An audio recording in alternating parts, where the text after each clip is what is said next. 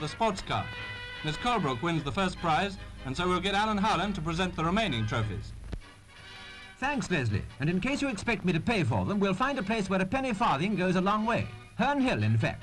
The antique velocipede is no object of mirth here, or even of veneration, but a vehicle of serious competition. They speed round the track for all the world like motorcycles. If both wheels were the same size and they carried a motor, they would be, of course.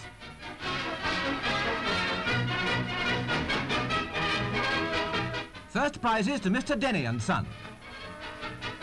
Cricket by electric light is the latest from Australia. Adelaide Diggers started it, now it's being